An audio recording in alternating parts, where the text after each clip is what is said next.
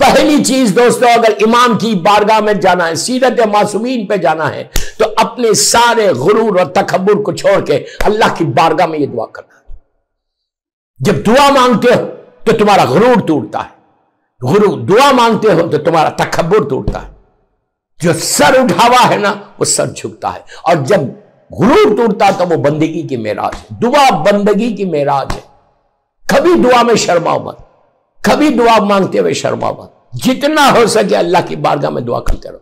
दुआ इंसान को अल्लाह की बारगाह में, मासूमीन की बारगाह में करीब लेके जाती और ये सीरत मासूमीन। सीरत मासूमीन का ये पहला पहलू मैं आपके सामने पेश कर कि दुआ क्या चीज़ है? पूरा अशरा इसी पे हो जाए।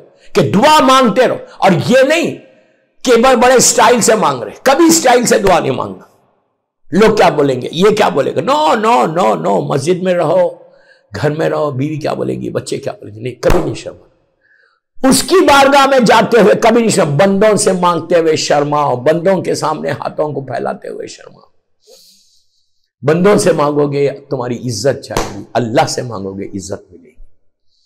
अल्लाह की बारगाह में अगर तुम हाथ फैलाओगे तो तुमको इज़्ज़त मिलेगी। ये पहली चीज़ एक्सेलेंस ऑफ़ सीरत मासूमीन की ये पहला स्टेप है कि तुम दुआ तो मांगो, तुम अपने गुरूर को तो तोड़ो, तुम अपने तकबर को तो तोड़ो, तुम अपने स्टेटस को तो तोड़ो, तुम जो समझ रहे कि आम समथिंग उसको तो तोड़ो, उसकी बारगाह में जाओ कि जिसकी बारगाह में, जिसके सतखे में अल्लाह ने आलमीन को खल्क किया, जो आलमीन के लिए रहमत कराया, वो इस तरह हाथों को उठाया हुआ है।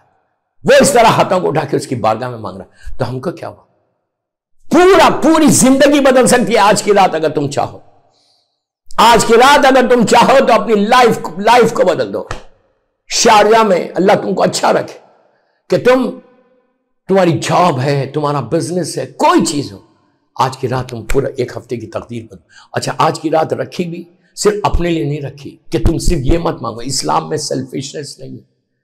इस्लाम में सेल्फिशनेस नहीं है। इस्लाम में फॉरगिवनेस है। प्लीज़ मैंने बहुत बड़ा जुमला बोला इस्लाम में फॉरगिवनेस है। आप ये चेक करो आज की रात, दुआ मांगते हुए। इसलिए कि हर आदमी दुआ क्या मांग रहा? Allah please forgive Allah please forgive यही बोल रहा ना? पहला जुमला हम यही बोलते हैं ना कि अल्लाह, तू माफ़ कर दे, तू माफ़ कर दे। बेशक, ये सबसे बड़ी दुआ है। इसीलिए इमाम ने भी यही कहा अल्लाह मकफिली जनो बलती ताकत दुआ। परवदिगार वो गुनाहों को माफ़ कर दे जो तेरी रहमत के, जो दुआओं के बीच में आ रही और तेरी बारगाह में दुआ नहीं पहुँची। तो इस्लाम में फॉरगिवनेस है। इस्लाम में सिर्फ़ फॉरगिवनेस है। सेल्फिशनेस नहीं है कि बस मैं नहीं। ये पहला मेरा मैसेज था आज के मदीस का। फॉरगिवनेस कितनी है मेरे पास? मेरा अगर पर्सनल इंटरेस्ट कहीं खराब हो रहा तो मैं किसी को माफ़ करूँगा। मैं अगर मेरा ईगो कहीं हर्ट करा तो मैं किसी को माफ़ करूँगा। नेवर जैसे जैसे मेरा स्टेटस बढ़ता जाएगा, मैं किसी को माफ़ करूँगा। सलाम में देर करते हैं तो लोग बात करना छोड़ देते हैं। सलाम में अगर कोई देर करते इसलिए मेरा स्टेटस है। इस इस गुरूर को तोड़ने के लिए इमाम अली ने हाथों को उठाया लोगों के। अपने लिए नहीं, गलत समझना।